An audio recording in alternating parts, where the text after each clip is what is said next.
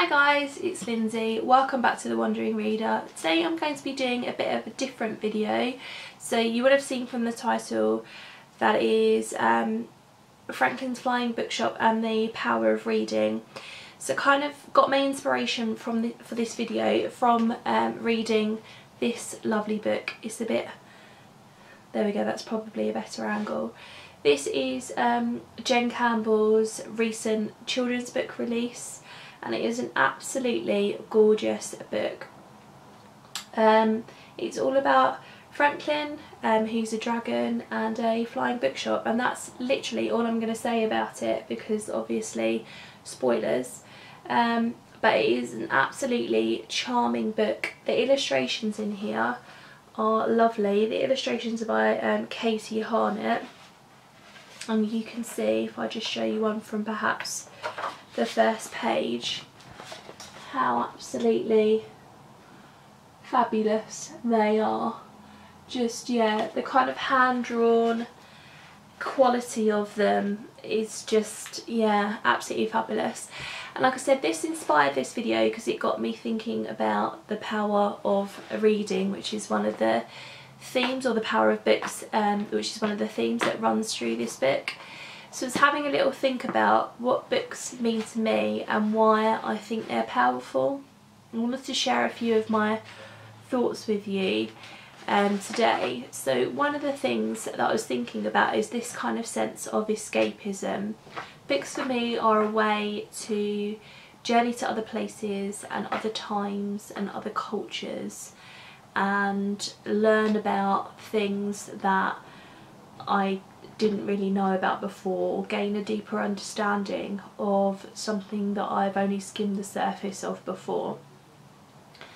Um, and that is so important to me, that, that acquisition of, of knowledge and understanding the world and my place in it better is so important to me. Um, I really do believe that you can gain a much clearer understanding of how you connect to everyone and everything else and books is one of the ways of, of doing that and it's one of the most powerful ways of doing that.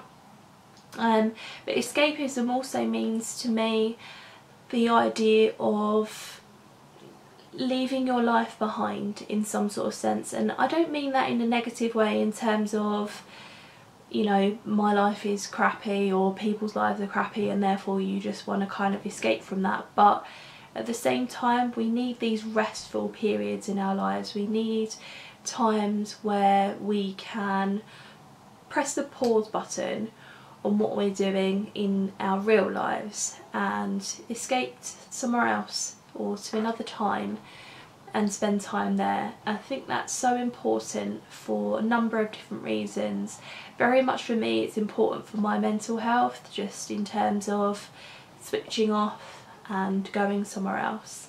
I very much would like to go off on, on holiday lots more than I actually do but in reality that doesn't happen um, you know because we have to go to work and earn money and you know and it isn't always possible to go away all of the time but I can press pause on my work life, I can press pause on other aspects of my life and go and spend some time somewhere else and that's so important to my sanity. I wanted to share a quote with you from Neil Gaiman that is, a book is a dream that you hold in your hands.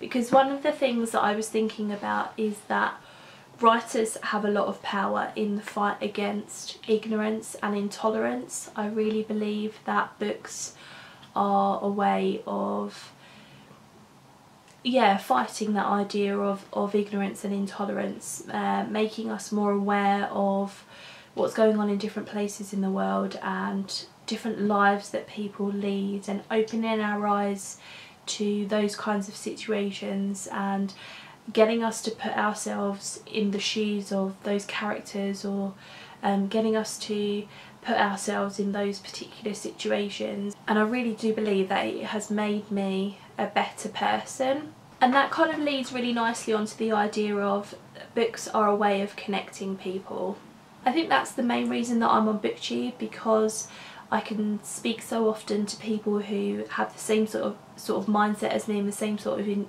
get the same sort of enjoyment out of books as me um, and kind of connect with them and chat to them about different books that we're reading and things like that. But I also think I often have these moments where I might be at work um, and having a conversation with a group of people or I might be out and about and kind of witnessing a particular situation unfolding. And because of something that I've read or um, you know something that I've seen in a book or something that I've seen discussed about a book I feel like I understand that situation so much better.